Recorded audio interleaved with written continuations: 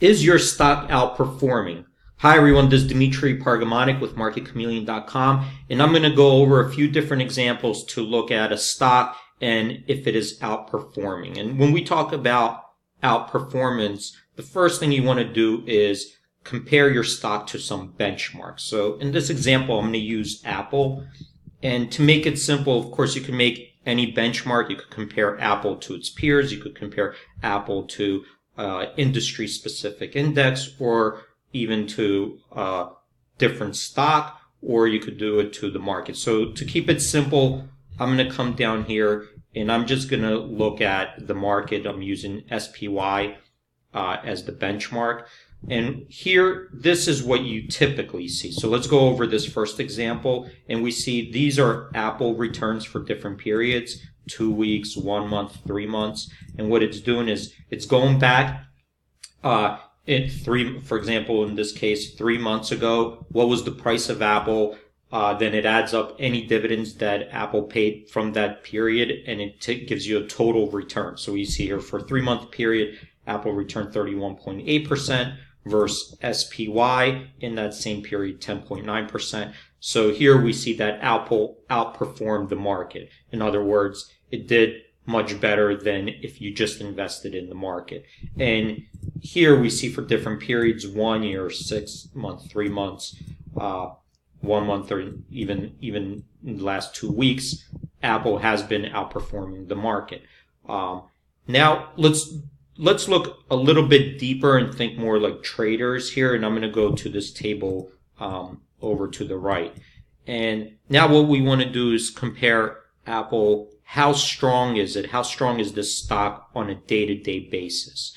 And so what we're going to do, so what this is measuring here is looking at daily uh, simple returns, and it's going to compare Apple returns to SPY. And here, right now, it's set to the last 90 days. We could look at last 30 days, 15 days, but let's just keep it for 90 days. And we see that in the last 90 days, Apple had six, 61% of the, those days Apple was positive, um, versus SPY 61%. SPY was positive. So here it's, they're really equal. Then we go here, and what is the average daily return? So we see Apple, it's 0.43% versus SPY of 0.14%. So on average, the average daily returns in Apple have been higher than SPY. And then, well, the next thing we want to do is compare the average return versus the risk. How volatile is Apple versus SPY? Is is that extra return worth it? Because if you're getting an extra return, but your risk is much higher, then that ratio uh, of your your reward versus your risk might be lower, and you're better off potentially in SPY. So then what we do is we look at the daily standard deviations, right? So this would be our risk. So you could see here the st- standard deviation of of Apple's daily returns are 1.18% versus SPY 0.58%. So then what we want to do is take the ratio of your average return over your standard deviation to see how much reward for each unit of risk you're taking. So you could see here we have highlighted uh, Apple's 36.1% versus SPY 23.3%. So in this case, you're much better off if you're just resetting Apple every day on on a daily basis. You you you reset and had um, the same amount of money at risk every day. And I'm going to go and I'm going to show you actually in a spreadsheet what that means. But Apple just just being long Apple every day on a daily basis versus SPY uh, had a much better risk reward uh, ratio. So Apple has been outperforming the the market in this period, 90 days, and we could go just even in the last 30 days, 15 days. We see it's just it continuously has been doing that. This last one over here, the paired strategy, is saying, well, what if to reduce my risk? What if I was long Apple on a daily basis and short SPY? In other words, I wanted to hedge off my market risk and because I think Apple will outperform SPY if the market's going up and it'll outperform if the market's going down. But I do want to hedge the market risk because if the market goes down, you know, I'm a little bit nervous here. It'll draw Apple down. So I'm going to hedge it. But I think that, that, that would still produce positive returns. And here in the last 90 days, we could see if you did that strategy, then on a daily basis, 64% of the time that turned out to be positive. Um, the average return was uh, 0.29% and the standard deviation was 0.87%. So even when we, in this case, if we just took that the average return divided by the risk, we got a 33.2%. So even so that paired strategy still underperformed if you just were long Apple alone. So in this case, you're just better off even in the down days, in the last 90 days, you're still better off in um, just just being long Apple, not even hedging off your your uh, market risk. So when we talk about this pair strategy, let's just go and take a look in a spreadsheet what this means, um, because that's kind of important, especially if you want to do do a pair strategy versus another stock, or you do want to hedge off either your market risk or maybe even your industry specific risk. For example, you know maybe the technology sector. So this is what it would look like. Let's say you started out the first day and Apple, and I made up these prices. So these aren't real prices. This is just an example just to show you the ideas. But let's say Apple the first day was $400 and SPY was $200. And what you needed to do is, in this case, I'm not using beta. I'm just assuming a one beta and, and I'm just hedging it dollar for dollar.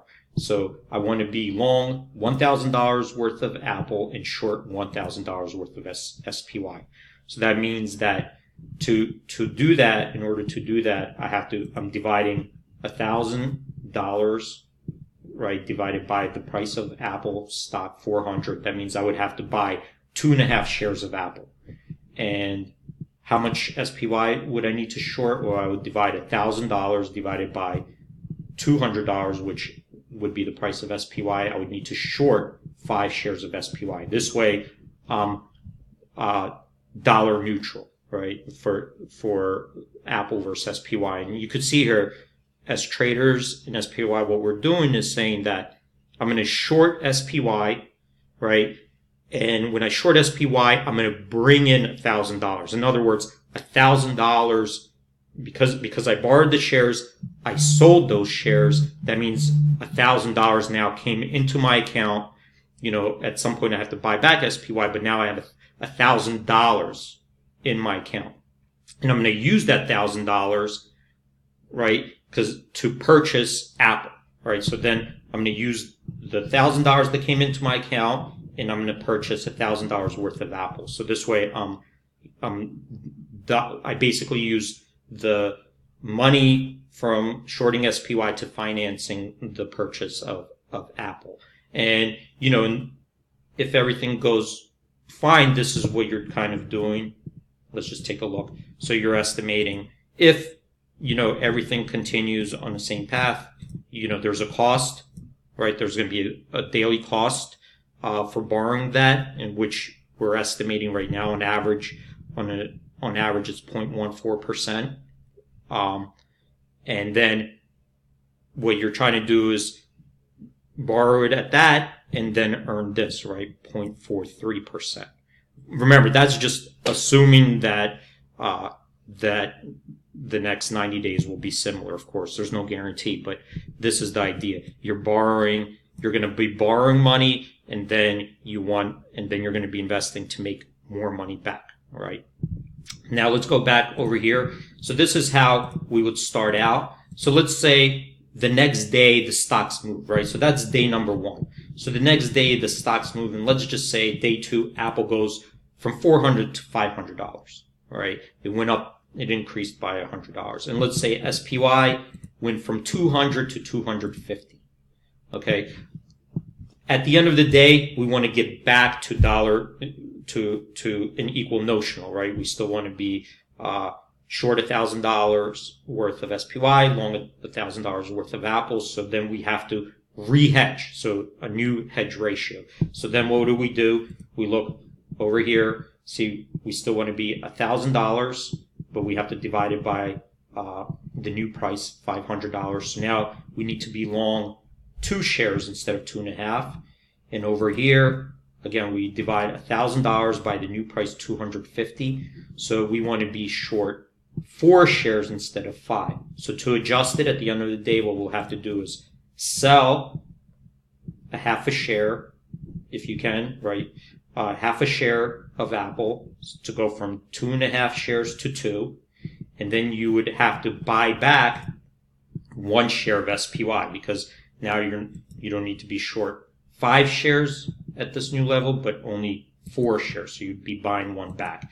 And every day you would be adjusting it to keep that $1,000 notional risk of being short 1,000 SPY, being long 1,000 Apple to try to get these daily, daily returns. So that's, and so that's just kind of showing you where you're trying to isolate, right, the alpha of Apple versus the market. You're hedging off, um, your market risk and just, and with the with the idea that Apple will outperform the market, but you don't want that market risk. So that would be uh, an example of hedging off um, your market risk to see if you could achieve, you know, superior daily returns. But of course, here it, we could see here that you would be better off just doing Apple um, alone and not hedging it off. And one other thing that you might want to look at is I'm just going to go over here. I'm going to set up the same thing. Uh, Apple versus SPY. And let's just see in the last year daily returns. So this is more than 90 days. This is in the last year. So we're getting the same statistics. But let let's see how how they performed when app when SPY just on down days. Did that did Apple perform outperform just on down days? So you see here, I'm gonna put that slider uh, show me only SPY between historically when when the returns were between negative three percent to negative four percent. I'm going to reload that, so you could see that there SPY had 100% obviously negative days, but Apple did have uh, some days. 18% of those days were still were positive. Um, we could see here that the average return of Apple was on average was higher than SPY. And let's see over here. But on those down days, you could see all three were down, but over here it did reduce, right? It did reduce the amount that you were down if you just were long Apple um, being hedged, and you can see that would have been the best strategy if you only looked at down days historically. Hopefully this was helpful and see you guys in the next video.